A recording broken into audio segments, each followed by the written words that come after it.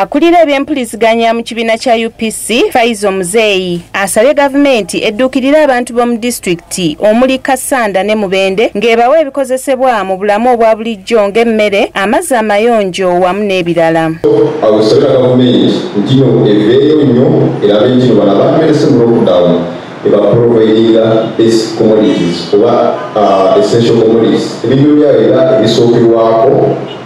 ebyokugaso ennyo bisobola okubeera nti bibayamba okuyitamu embeera faizo abadde mu lukiiko lwa bannamawulire annyonnyodde nti endwadde nga kolera malaria ebola ssaako ne covid-19 byegiriisiza nnyo mu bitundu ng'obujama bususse ate nga n'amazzi ge bakozesa si mayonjo. Wano wasabidde gavumenti ng'eyita minisitule yaayo ey'amazzi okufunira abantu b'omu disitulikiti zino amazzi amayonjo. Minisitule ya gavumenti ya ministry of water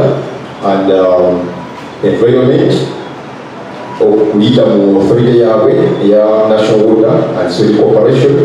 ntino beekitendinga amaazi amayonjo agapayipu mu bitundu by'eggwanga byonna byonna byonna okutusuka ku bitundu ba ebyalo beeta villages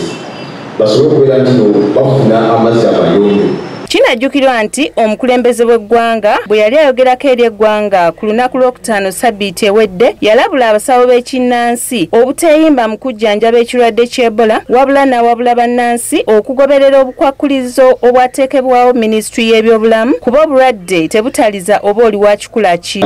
Abasawo ab'ekinansi wamu n'abalwadde aba covid-19 abesori abalwadde bya ebola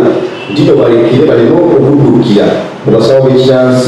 nga bagezaako okujjanjaba obulwadde bw'ebola upc tukkiriza nti obulwadde bw'ebola buli beyond